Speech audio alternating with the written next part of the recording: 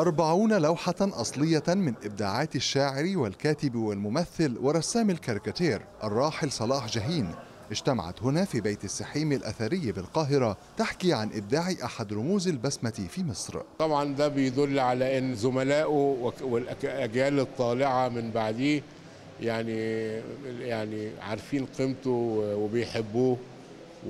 ف يعني طبعا بشكر جمعية الكاريكاتير إنها عملت المعرض ده. كان بيضيف على التكنيك بتاعه أو التكوين بتاعه شكل زخرفي بيتميز بيه. صلاح جاهين وبس.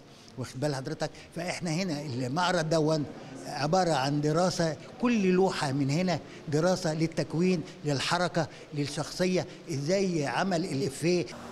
بالإضافة إلى كتابة أكثر من 160 قصيدة وعدد من الكتب أشهرها الرباعيات عمل صلاح جاهين رساما للكاريكاتير لسنوات طويلة. حيث لاقت أعماله لا سيما في جريدة الأهرام رواجا وشهرة كبيرة بعدما تميزت بخفة الدم والقدرة على النقد البناء.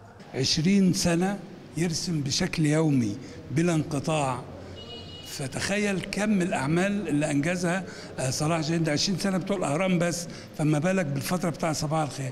ففي تنوع شديد. إحنا حاولنا في المعرض ده إن إحنا نلقي بعض الأضواء على مراحل مختلفة في شغله كفنان كاريكاتير. صلاح جاهين هو طبعا أستاذنا ومدرسة كبيرة وتعلمنا من شغله. صحيح أنا ما شفناهوش بس الأعمال بتاعته إحنا اتعلمنا منه الشغل إزاي أختار النكته وأعمل شغل يضحك بطريقه سلاسة بسيطة يأتي المعرض ضمن سلسله بعنوان من تراث الكاريكاتير تهدف للحفاظ على هذا التراث والتعريف بمبدعيه ورواده الذين أثروا الحركة الفنية وعبروا عن أهم الأحداث التي مرت على مصر والعالم. هذه اللوحات هي لمحة من إبداع أحد أهم رسامي الكاريكاتير في مصر الذي تميز في مزج النقد الساخر وسرد التاريخ بالابتسامة.